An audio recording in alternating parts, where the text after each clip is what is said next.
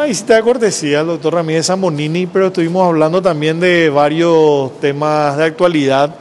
estamos ya empezando un proceso electoral, así que estuvimos hablando del,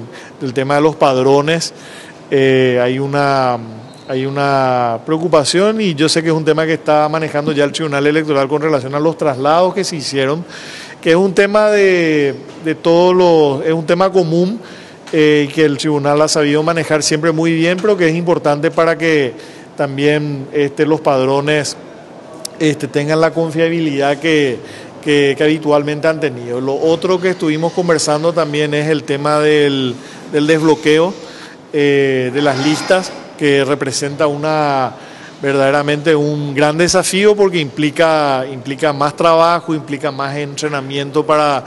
el personal de mesa, implica un mejor control, así que es un tema que también eh, se tiene que ir manejando y trabajando con los diferentes partidos políticos de tal manera a que esa norma que esa norma que, ha sido estudiada y que ha sido aprobada por el Parlamento y que va a permitir una mayor libertad eh, para los electores se puede aplicar de una manera efectiva. Y lo último que también estuvimos hablando del voto en el exterior, es también un, gran avance en lo que hace a nuestro derecho electoral.